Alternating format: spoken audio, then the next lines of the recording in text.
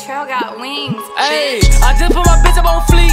Told her shut up whatever she busy at. Niggas hate so they block it, bitch. If you light up wherever you kick it at. I'm just so far up under that. Fucked up, but I came up from under that. I must get off the line, the Mozzie. Tell the police the fuckers y'all look at that. Fucked up, but I. What's good, y'all, man? Make sure y'all subscribe. Make sure y'all like. Make sure y'all hit that like button, man. On my road to 5K subscribers. So I appreciate if y'all can just hit that quick subscribe button. But y'all see me in the background. As y'all know, patch 6 or whatever fuck you want to call it, then came out. What they did is that they kind of made the dribbling a little bit more, you know, less cheesy.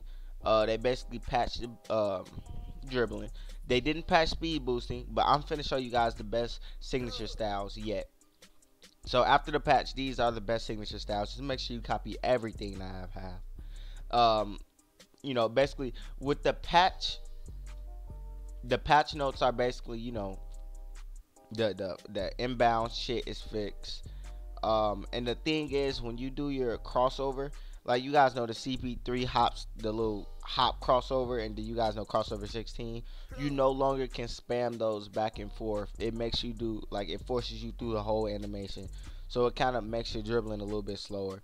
But as you can see, you can still do everything else. You can speed boost. You can do the through the leg cheese. It's just that it feels like it's a little slowed down. But make sure you guys subscribe. Make sure you like. This is a quick little video, and I'm out.